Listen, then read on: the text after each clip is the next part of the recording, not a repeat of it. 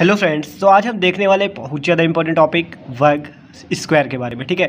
तो वर्ग जो है बहुत ज़्यादा ही मोस्ट इंपॉर्टेंट टॉपिक है। वर्ग का क्षेत्रफल, वर्ग का परिमाप और वर्ग से जो इंपॉर्टेंट क्वेश्चन होते हैं, वो भी एग्ज़ाम में पूछे जाते हैं, ठीक है? तो हम देखते हैं वर्ग होता क्या है।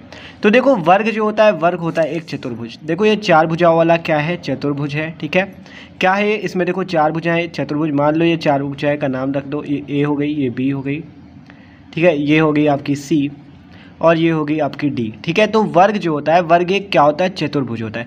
तो आपने क्या लिखा? वर्ग एक चतुर्भुज होता है, जिसकी, जिसमें क्या होती? है चार भुजाएँ होती। और वर्ग में क्या होता है? आमने सामने मतलब चारों भुजाएँ जो होती हैं, वो बराबर होती हैं।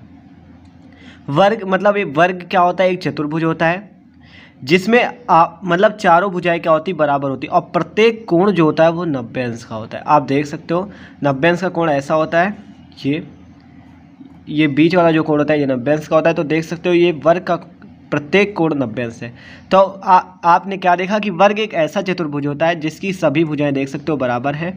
सभी भुजाएँ बराबर है और प्रत्येक कोण क्या होता है नब्बे अंश तो वर्ग क्या होता है? वर्ग एक चतुर्भुज होता है जिसका क्या होता है चारों भुजाएँ बराबर होती हैं तथा उसका क्या होता है उसका जो प्रत्येक कोण होता है वो होता है नब्बे अंश तो आपने देखा ठीक है? तो आप देखते हैं वर्ग जो है ए बी सी डी में। ठीक है, वर्ग ए बी सी डी की बात करते हैं अब। आप जैसे हमसे क्वेश्चन पूछा था वर्ग का क्षेत्रफल क्या होता है? तो देखो, वर्ग का क्षेत्रफल क्या होता है? आपको पता है ये जो घेरा हुआ भाग ये अंदर वाला ये होता है, इसे हम कहते हैं क्षेत्रफल। ये क्या होता है? क्षेत्रफल होता है, ये अंदर वाला। ये क्षेत्रफल होता है तो वर्ग के क्षेत्रफल की बात होती है और वर्ग का परिमाप क्या होता है? देखो, वर्ग का परिमाप ये। ये जो पूरा ये इतने से इतने तक ये होता है, ये होता है पूरा वर्ग का परिमाप मतलब परिधि।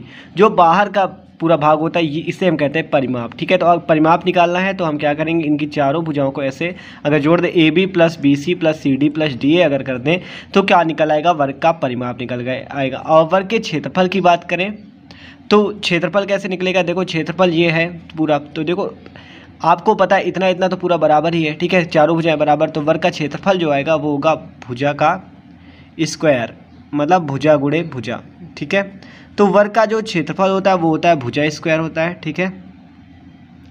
वर्ग के क्षेत्रफल का जो फॉर्मूला होता है, वो होता है क्या? भुजा स्क्वायर और वर्ग के परिमाप की बात करें तो देख सकते हो आप चारों भुजाओं को मतलब ये जो पूरा ये है, इसे जोड़ना होता है। तो आपको पता है चारों भुजाएँ तो बराबर होती हैं, ठीक है? अगर आप भुजा प्लस भुजा, चार भुजा जोड़ोगे, भुजा प्लस भुजा प्लस भुजा, चार बार भुजा जोड़ोगे ठीक है तो आपको पता है चारों भुजाएँ तो वर्ग में बराबर होती तो आप डायरेक्ट क्या लिख सकते हो? चार गुड़े भुजा। तो इसका परिमाप क्या निकलेगा?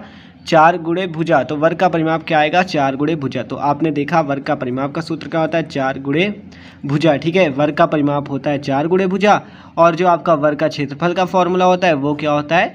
भुजा का स्क्वायर तो आप देख सकते हो कि वर्ग एक चतुर्भुज होता है, जिसका प्रत्येक कोण क्या होता है? नब्बे अंश होता है। और इसमें वर्ग की सारी भुजाएँ बराबर होती है, ठीक है? वर्ग के क्षेत्रफल का जो फॉर्मूला होता है, वो होता है भुजा स्क्वायर और वर्ग का जो परिमाप होता है, वो होता है चार गुड़े भुजा तो देख सकते हो कितना ज़्यादा आसान टॉपिक है, ठीक है? वर्ग स्क्वायर जो है, बहुत आसान टॉपिक है। आप देखो, इससे एक क्वेश्चन लगाते हैं। जैसे कहा गया किसी वर्ग की भुजा चार सेंटीमीटर है। आपको कहा गया किसी वर्ग की भुजा चार सेंटीमीटर तो आपको पता है ये कोई वर्ग है? इसकी भुजा आपको बताई गई है चार सेंटीमीटर। ठीक है, मान लो ये वर्ग ए बी सी डी है। आप नाम रखो या ना रखो, ठीक है? वर्ग की बता दी गई भुजा चार सेंटीमीटर। तो आपको पता है, चारों भुजाएँ बराबर होती तो सारी चार सेंटीमीटर होंगी, ठीक है? तो सारी कितनी होगी? चार सेंटीमीटर होंगी।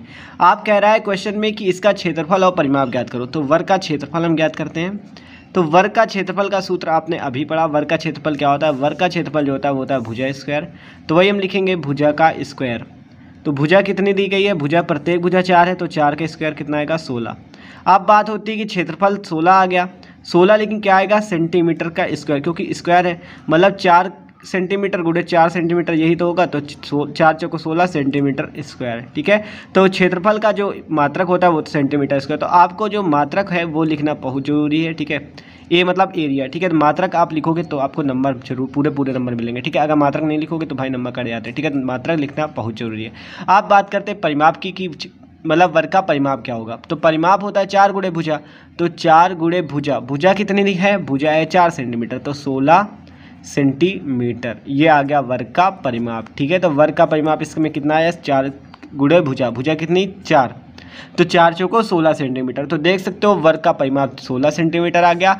वर्ग का क्षेत्रफल आपने निकाला, वो कितना आ गया? वो भी सोलह सेंटीमीटर स्क्वायर आया ठीक है तो मतलब जो फॉर्मूले की बात, तीन रख दो तो तीन क्षेत्रफल आ जाएगा नौ और परिमाप आ जाएगा तीन को बारह। तो आप बहुत आसानी से कर सकते हो।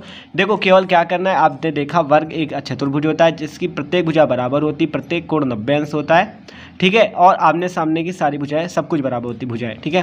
वर्ग का क्षेत्रफल का फॉर्मूला देखा, भुजा गुड़े भुजा भुजा स्क्वायर हो गया, ठीक है? वर्ग का परिमाप क्या होता है? चार गुड़े भुजा। और इससे देखो, एक क्वेश्चन भी लगा लिया, जो कि बहुत आसान था। तो इसी प्रकार क्वेश्चन इस पर पूछा जाता है वर्ग में, ठीक है? तो भाई, अगर वीडियो अच्छा लगा हो तो प्लीज़ वीडियो को लाइक ज़रूर कर दीजिएगा, जिससे आपको मतलब पूरा इतना तो है कि आपका ये वर्क टॉपिक क्लियर हो गया होगा, ठीक है?